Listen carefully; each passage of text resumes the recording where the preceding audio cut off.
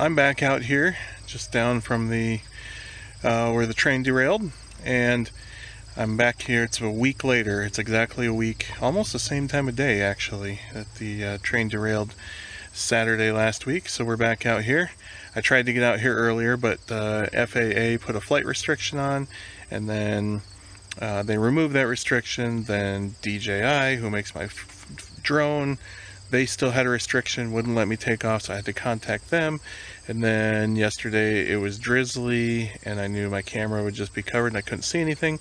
So now I'm finally out here. I'm guessing they have the bridge fixed. I don't know. We haven't seen them haul any cars out, but I haven't been here a lot this week, so I don't know. We'll find out together.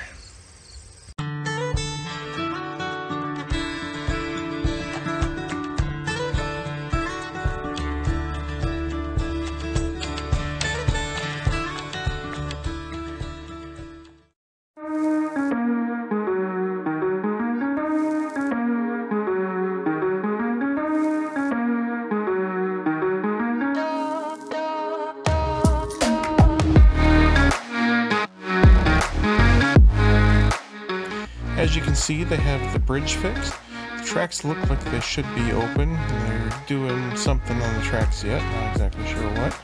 And they moved all the locomotives and the derailed cars into the neighboring field here.